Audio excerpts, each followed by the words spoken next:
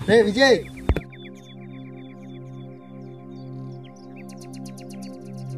Hi రా ఎలా ఉన్నావు? చాలా రోజులైందిరా నిన్ను చూసి. చాలా బాగున్నారా గుడ్ సరే నడుస్తా పద.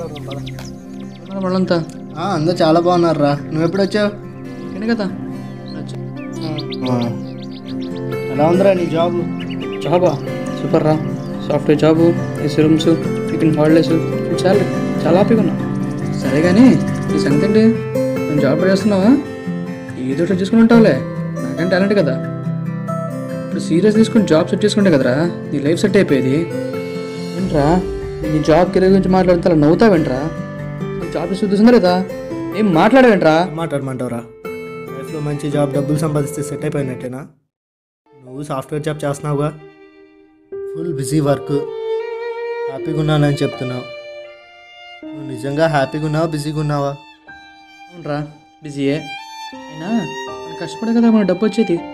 డబ్బు ఉంటేనే కదరా మనకి హ్యాపీనెస్ గుడ్ లైఫ్ స్టేటస్ అన్నీ. అబ్బా డబ్బుదే ఉందిరా. ఎక్కడున్నైనా సంపాదించుకోవచ్చు.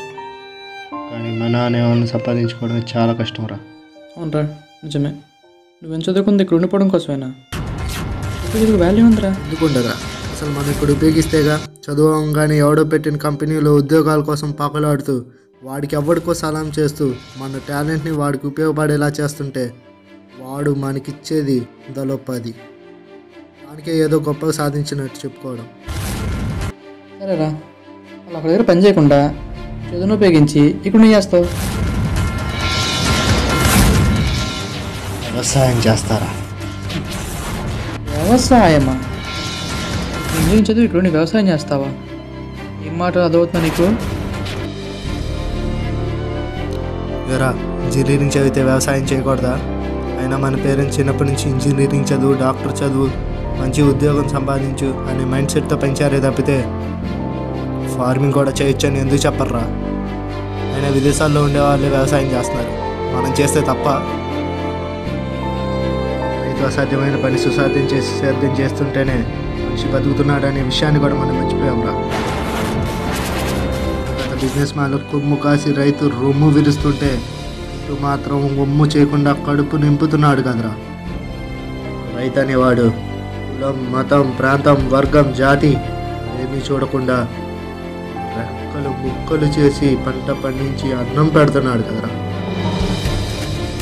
మనం మాత్రం రైతు మీద కనీసం బాధ బాధ్యత కరుణ ప్రేమ ఏమీ లేకుండా రైతు ఆత్మహత్య చేసుకుంటున్నా పట్టించుకొని అంత స్థాయికి దిగజారిపోయాం. పల్లెలు పట్టుకొమ్మలని చెప్పుకునే మనం నాలుగు తల్లి వెళ్ళి బంధాలు అనుబంధాలకి దూరం అవుతుంటే రైతు మాత్రం అదే పల్లెల్లో ఉంటూ తినడానికి పంట పండిస్తున్నారు కదరా.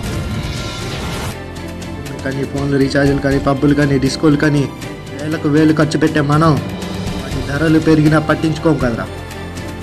రైతు పండించే కూరగాయల ధరలు పెరిగితే గగ్గోలు పెడతాం కదా రైతు పడే బాధ మన ఎవ్వరికి అవసరం లేదు.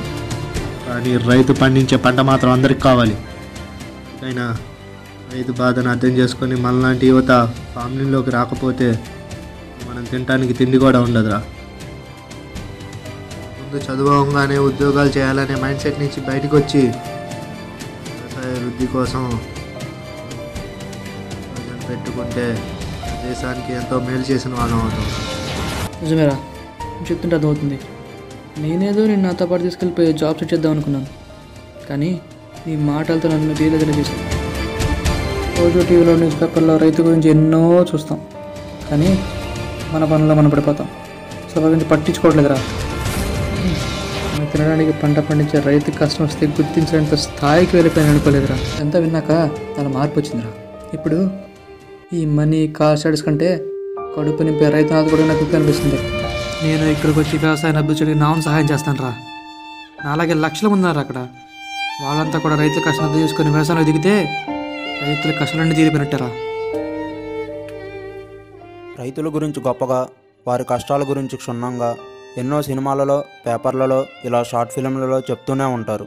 మనం చూసిన ఆ క్షణం లేదా ఆ రోజు వరకు మాత్రమే రైతుల గురించి ఆలోచిస్తాం. ఆ తర్వాత మర్చిపోతాం. దేశం అభివృద్ధి చెందాలని మనందరం కృషి చేస్తున్నాం. తద్వారా మనము ఎదుగుతున్నాం.